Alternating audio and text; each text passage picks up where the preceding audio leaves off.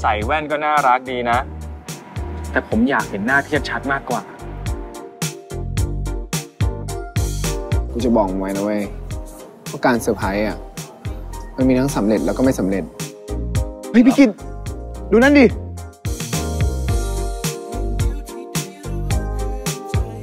ผมว่าผมควรจะพอแล้ว ผมจะยอมตัดใจ และหายหน้าไปจากพี่เอง